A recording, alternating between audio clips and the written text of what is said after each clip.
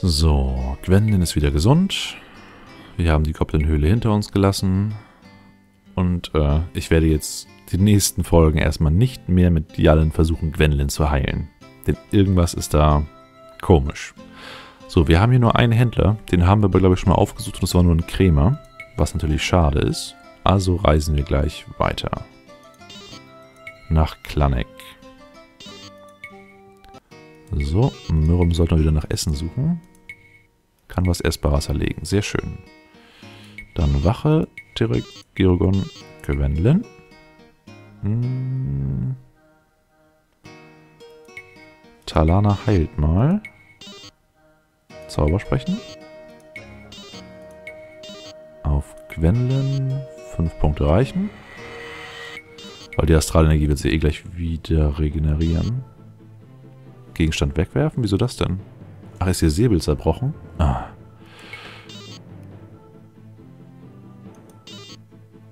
Ha. Waffe wechseln. Sie hat nur einen Bewegungspunkt. Äh, na gut, abwarten. Mürrem. Steht genau richtig. Hast du noch Pfeile? Waffe wechseln. Langbogen. Angriff. Ich glaube, Jalan hatte nämlich keine Pfeile mehr. Sie schon. Sehr schön. Und die hauen jetzt auf die schlafende Talana ein. Die wacht stinkig auf und wollte zaubern, kann sie aber nicht mehr. Dann lauf mal weg. So, Gerogon wird auch endlich wach. Randa. Terik auch. Randa. Abwarten. Nur Mürrem schläft noch friedlich. So, äh Quatsch, Jallen. Lauf ran. Du müsstest jetzt immer noch den Rapier in der Hand haben. Also abwarten. Und du haust auf den, der Talana angreifen will. Und ich benutze schon wieder die Maus. Ah, alte Gewohnheiten sterben schwer. Daneben. So. Oh, du bist überlastet. Du kannst gar nicht zaubern. Das ist nicht gut. Und sie ist vollkommen überlastet, hat nur einen Bewegungspunkt. Ähm. Okay. Sie kann nicht mal sichern. Dann warte mal ab. Machen wir einfach Computerkampf. Keine Magie. So. Also, Talana ist überladen. Gwendolyn ist total überladen. Das heißt, wir müssen wirklich einen Waffenhändler finden. Aber ich glaube, auch in der nächsten Stadt war keiner. Was echt ärgerlich ist. Und für mich auch völlig unverständlich. Also ein Krämer ist für mich auch so eine Art Pfandleier. Der kauft fast alles. Hm. So. Damit dürfte Mürrem auch bald keine Pfeile mehr haben. Einer flieht. Es sind noch zwei über. Zwei fliehen. Sehr schön.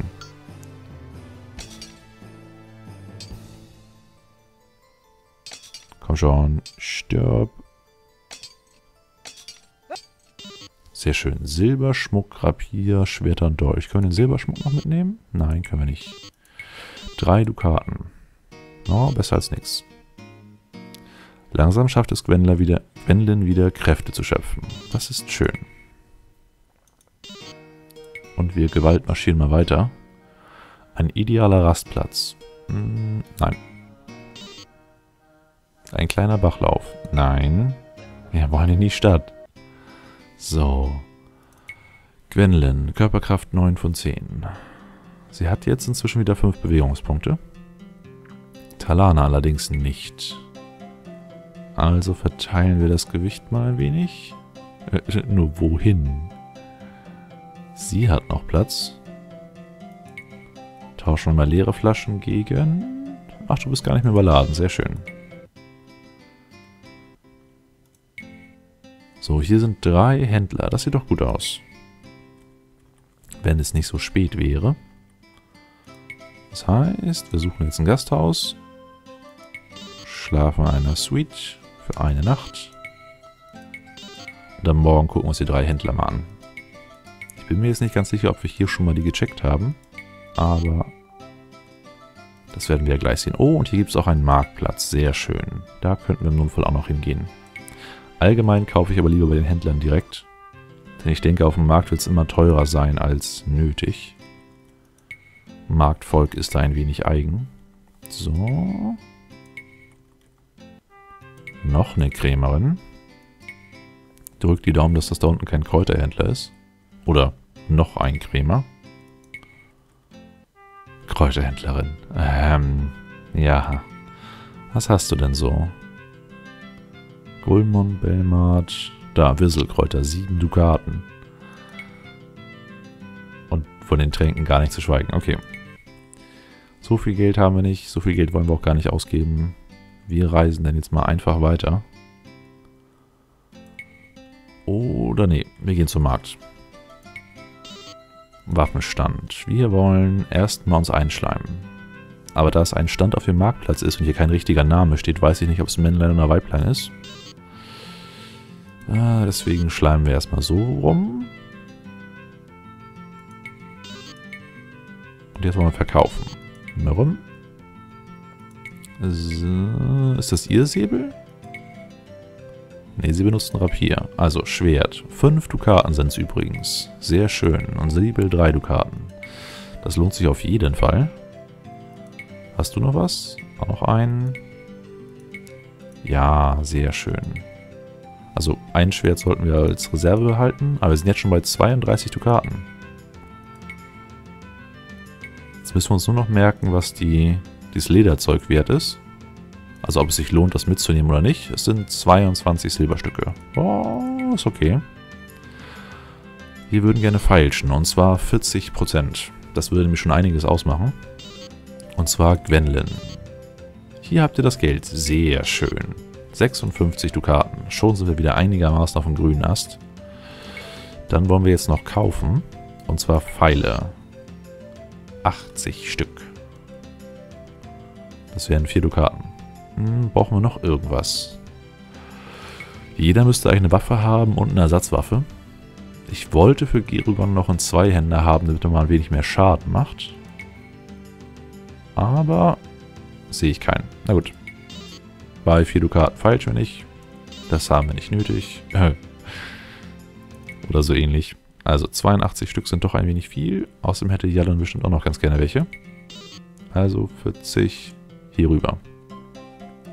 Keiner ist überladen. Wir haben keine Ramsch mehr. Jetzt brauchen die Elfen nur noch ihre Bögen in der Hand. Und alles ist gut. Sehr schön soweit. Ja, diese Folge ist schon wesentlich äh, angenehmer als die letzten, wo so viel chaotisches Zeug war.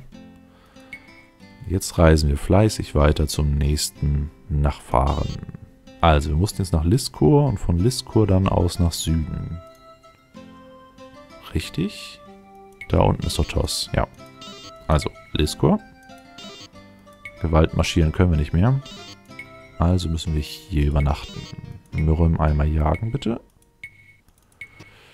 Sieben Proviant hast du. Gib mal ein bisschen was ab. Sonst bist du auch gleich wieder überladen. Das muss ja nicht sein. So, außerdem fühlen sich die anderen Helden in der Gruppe bestimmt auch wohler, wenn sie ein wenig mehr Nahrung in der Tasche haben. Ah, so. Wachen sind Tirik, Girugon und Gwendlin und Kräuter suchen Jallen vier Stunden. Ein Domstängel, fünf Tanelen und ein Wirselkraut. Sehr schön.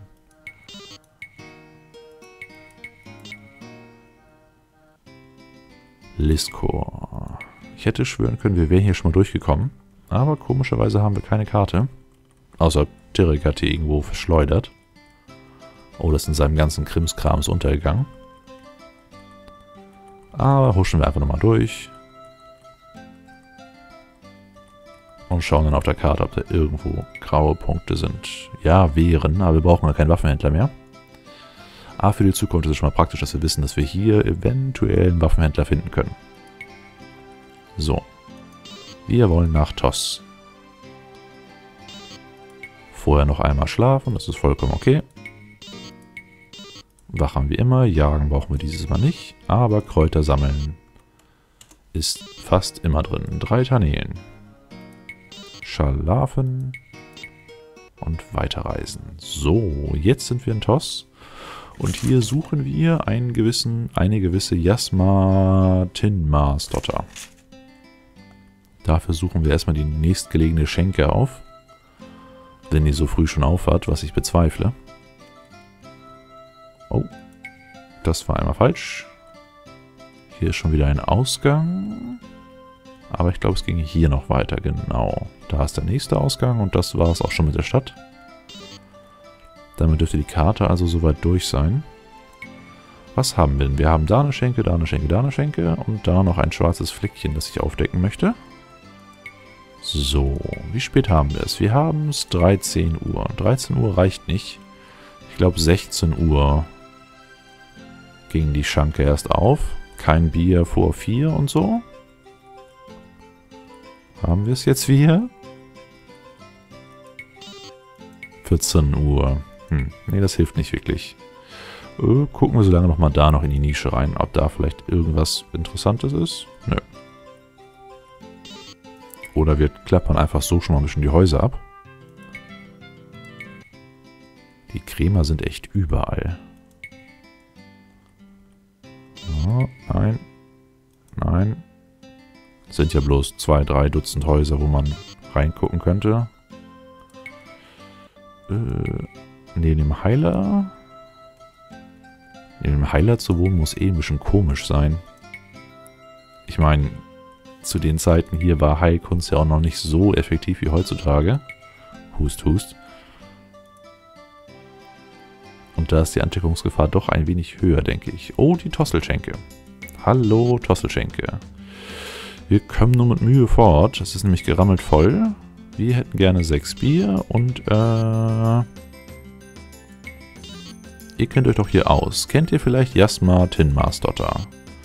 Sicher, sie wohnt hier erst seit kurzem, in Haskars Haus gegenüber der Herberge. Na gut. Gegenüber der Herberge. Das war eine Schenke, also eine Taverne. Ist das hier eine Herberge? Ja, der lustige Eber. Also gehen wir mal geradeaus. Und, äh, dann vielleicht hier. Ähm, das wäre gegenüber der Herberge. Ah, vielleicht meinte er ja auch so oder so. Also gehen wir mal an das Haus. Nein. Das Haus? Nein. Ah, ja. Die sieht nicht sehr freundlich aus. Jasma Tinmarsdotter. Das Haus sieht so aus, als sei es erst kürzlich von jemand eingezogen worden oder bezogen worden. Ihr klopft. Momentchen, ertönt von drinnen eine Frauenstimme. Es dauert etwas, dann öffnet eine schwarzhaarige Frau von etwa 30 Jahren die Tür. Sie schaut euch erstaunt an. Guten Tag, mit wem habe ich die Ehre? Ich glaube, das ist die Ärzte Schwarzhaarige, mit der wir es zu tun haben. Aber gut, ähm, wir stellen uns vor. Sie denkt kurz nach. Ach so, ihr wollt sicher zu Hasgard Haskason. Tut mir leid, aber der wohnt nicht mehr hier. Nein, wir suchen Jasma Tinmarsdotter. Ah, wir könnten fragen, wo dieser Haskazon lebt. Aber wir wissen ja gar nicht, ob der für uns relevant ist. Also nein. Wir suchen Jasma Tinmarsdotter. Mich sucht ihr? Fragezeichen, Ausrufezeichen. Das gibt's doch nicht. Was wollt ihr denn? Äh, ihr seid doch mit Högelig verwandt? Ganz und gar nicht. Aber er hat mir schon viele Probleme begleitet. Ach, was lasse ich euch hier draußen stehen? Kommt doch rein. Ah, sie ist doch freundlicher, als sie aussieht. Aber schaut euch bloß nicht um. Es herrscht ein heilloses Chaos. Ich bin nämlich erst vor ein paar Tagen hier eingezogen. Sie hat maßlos untertrieben. Überall steht Krempel herum. Ihr müsst aufpassen, dass ihr nicht stolpert und euch das Genick brecht. Erstmal räumt ein paar Kisten frei, holt aus dem Nebenzimmer Stühle herein und meint, ihr sollt es euch irgendwie gemütlich machen.